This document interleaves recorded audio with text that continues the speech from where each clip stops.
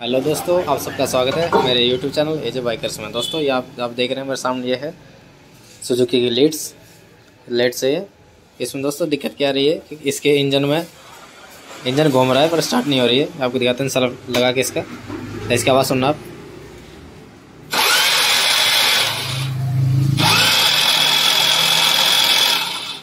Friends आपने आवाज़ सुनी है, इंजन घूम रहा है पर ये कोई, इसमें कोई इंजन में अगर प्रेशर नहीं आ रहा बिल्कुल भी यानी कंबेंशन नहीं बन रहा है। तो इसको खोल के देखते हैं, क्या दिक्कत है इंजन के अंदर। तो फटाफट से खोलते हैं इसको। फ्रेंड्स आप देख सकते हैं, मैं अब इसका इसका हेड का कवर हटाया है। ये देखो, अभी बस हटाया इसका।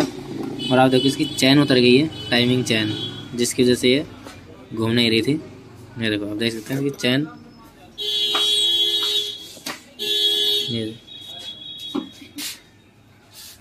फ्रेंड्स आप ऐसे इसकी टाइम चैन चढ़ा के फिर स्टार्ट कर देखेंगे, इसके दोस्तों स्कूटी को स्टार्ट करने की बहुत कोशिश करी, पर स्टार्ट नहीं हुई है, जिस वजह से इसका हाफ़ इंजन खोला है। फ्रेंड्स इसका वाल बैंड हो गए हैं, जिस वजह से स्टार्ट नहीं हो रही थी। ये देखो, आपको दिखाते हैं इसके वाल चेक कराते हैं पहले इसके। ये देखो, आपको साइड में दिखाते हैं। देखो तो आपको जगह नज़र आ रही है, जगह छुट गई साइड में। यानी यहाँ से हवा पास करने लग गई है। यानी एयर लीक कर रही है दोनों वाल में से। मैं आपको दिखाता हूँ। इसमें ऊपर से ना मोबाइल से रोशनी डालेंगे और नीचे से आप किस तरह सबको नज़र आएगी रोशनी। देखो मैं आपको दिखाता हूँ एक बार। फ्लैश ऑफ़ कर देता हूँ बाइक इसका मोबाइल का। देखो मैं दिखाता हूँ। तो फ्रेंड्स आप देख सकते हैं, आपको नज़र आ रहा होगा ये। सामने जो रोशनी नज़र आ रही है, ये इसी वजह से नज़र आ रही है, क्योंकि ये वाल के, वाल ने यहाँ से जगह छोड़ दी है साइड में से। ये वाल बैंड हो गए हैं।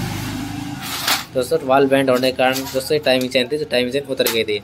दोस्तों जो इस टाइप की जो चैन होती है ना ये बहुत ही मतलब कम चलती है। मतलब जैसे ही चैन ढीली हो जाए तो इनको बदल लेना चाहिए।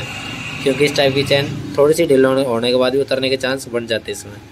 जो कुछ बाइक बहुत सी बाइकों में होते हैं वैसे ये वाली चैन जैसे कि सी बी जेड पुराने मॉडल में करिश्मा जेड एम आर और ये फ्रीडम होती है सुपर स्प्लेंडर होती है अपाची एफ़ जेड इन गाड़ियों में होती है ये वाली चैन ये बदल देनी चाहिए। जैसे ही लूज हो इनको बदल देना चाहिए। जो इस टाइप की जो चैन होती है ये वाली और ये वाली जो स्प्लेंडर में डिस्कवर में, पल्सर में ये वाली नज़र आती है। ये नहीं उतरनी चाहिए। कितनी भी लूज़ हो जाए, ये चैन जल्दी से नहीं उतरेगी।